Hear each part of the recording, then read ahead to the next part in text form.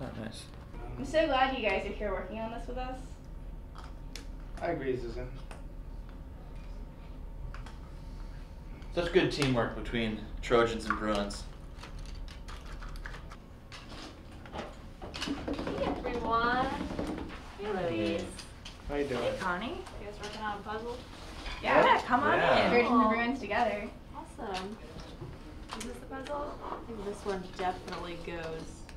Right It's a puzzle of the world because we're all united as Trojans and Bruins. Boy, we're gonna crush them this weekend. I'm thinking about 40 points.